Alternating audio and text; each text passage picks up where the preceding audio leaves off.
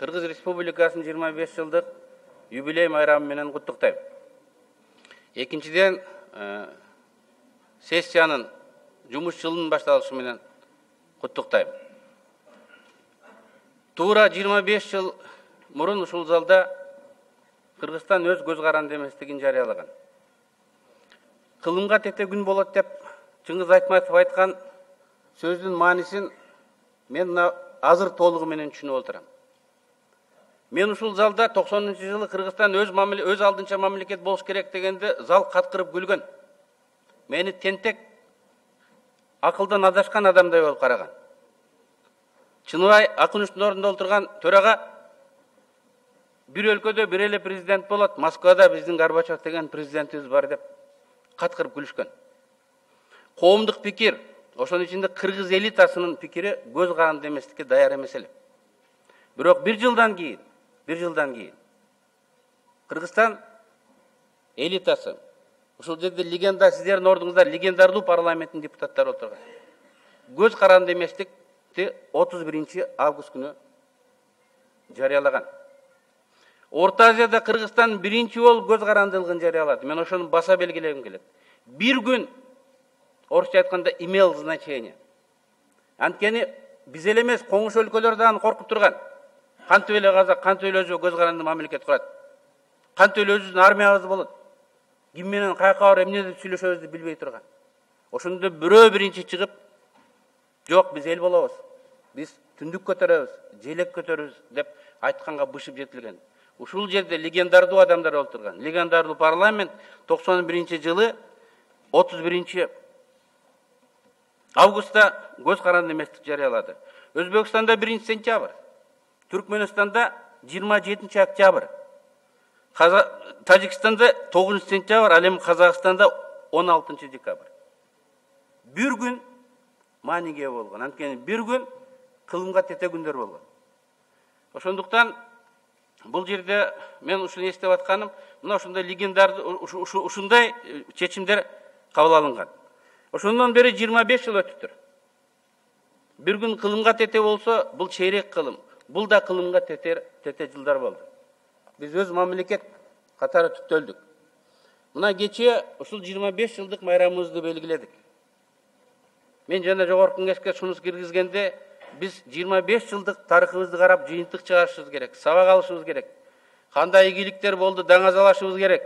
Кандай кемчиликтер болду айтып туруп жолун көргөзүп мындан жыйырма беш жылга ушул залга келип олтура турган жаңы муун биздин балдарыбызга керезибизди саясий калтырышыбыз керек могулар кайталанбасын моундай жолдон айланып өтөйлүк алдыбызда мындай мындай чоң маселелер турат бүгүн мына дүйнөлүк терроризм бизге жакындап калды чек арабыз жабылып россияга өтпөй калды граждандарыбыз да өтпөй калды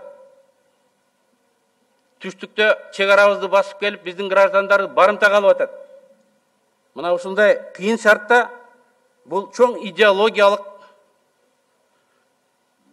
иш чара болуш керек эле элди бириктирип элди мобилизациялап элге дух бере турган урматтуу депутаттар мен айтпашым айтпашым керек эле бирок айтып коюш керек президент атамбаев ошол миссияны толук кандуу пайдаланган жок тескерисинче чоң тойду бузду мен өзүм жөнүндө болсо бул жерден айтпайт элем үйүнө барып деле орусча айтканда разборка кылып алмакмын президенттен түшкөндө деле көчөдөн бир жерден кармамакмын бирок кеп эркектер жөнүндө эмес кеп кыргызстандын экс президенти роза отунбаева жөнүндө мен айтып койбосом болбойт алмаз атамбаев роза отунбаеваны мыйзамсыз шайланган президент самозванка деп атады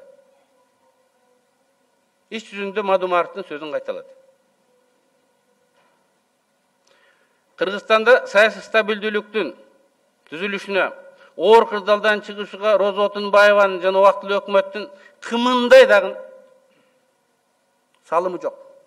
Тескерисинче алардын кара ниетине карабастан эл өзүнөн өзү эле ошолорду жасап койду деп айтты эгер муну унчукпай койсок биз депутат катары гана эмес просто эркек адам катары дагы туура эмес болот деп мен эсептейм. Роза отунбаева убактылуу өкмөттү жетеледи мен бекназаров иса өмүркулов атамбаев батын албай турганда жоопкерчиликти өзүнө алды.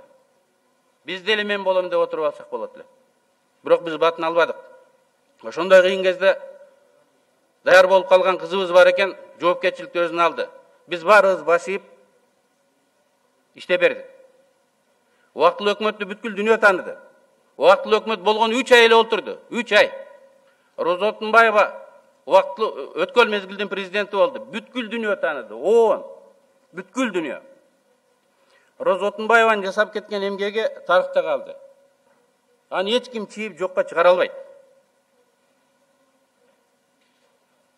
ошондуктан мен кечээ мындай чекилип кетти деп мына ушуну баса белгилеп койгум келет эми урматтуу депутаттар сиздер жөнүндө биз жөнүндө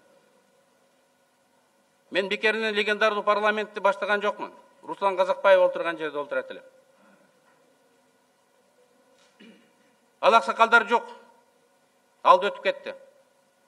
Ошол легендардуу парламенттин мүчөлөрүнүн балдары ушул жерде отурасыңар. Эргеш төрөбаев депутат болгон. Бүгүн анын баласы бакыт төрөбаев бул жерде отурат. Келгиле биз аталарыбыздын койгон тилегин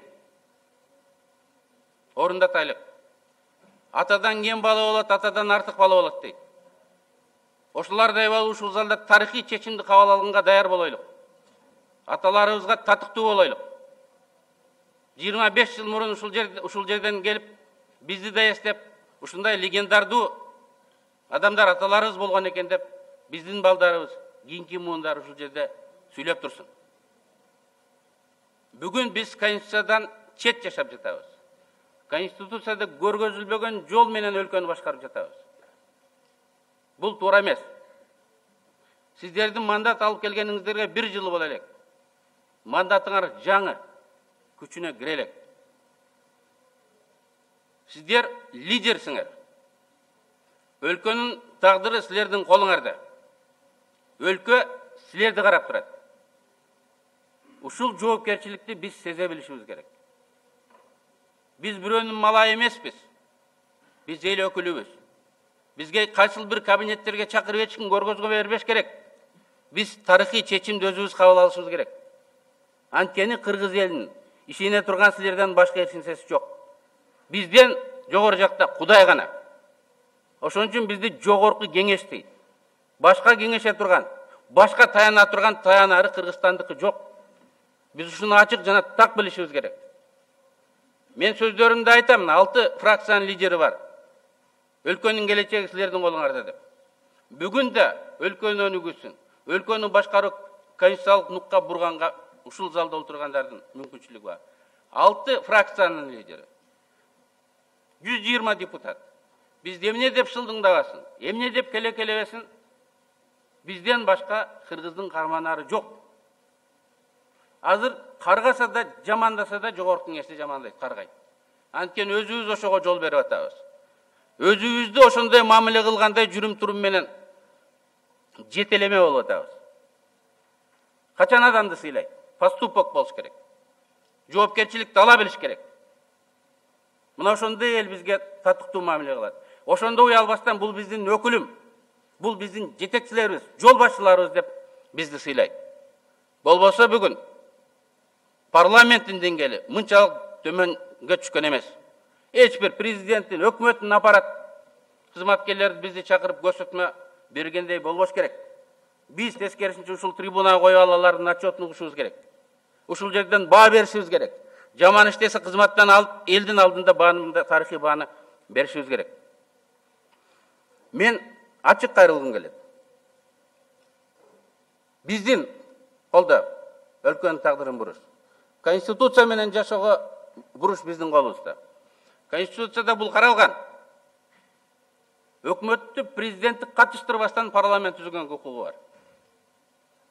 Эгерде президент өзүнүн айланасындагылардан кутулбаса мен официалдуу жарыялайм президент өзү эмес анын айланадагылар башкарып атат мына мен могул жерде эски боевой жолдошторду көрүп отурам кыйынчылыктарда чогуу жүргөн сдпк партиясын силер башкарбай калдыңар бакиевдин акаевдин жанында жүргөн сдпкнын жытында да болбогон фариттер исаак сапарлар жана башкалар башкарып отурат сдпк мен үчүн жат партия эмес бирибиз үчүн камалганбыз өлкө үчүн күрөшкөнбүз ошол тарыхыбызды сыйлап өлкөнү сактап туура жолго бурайлык биз конституцияда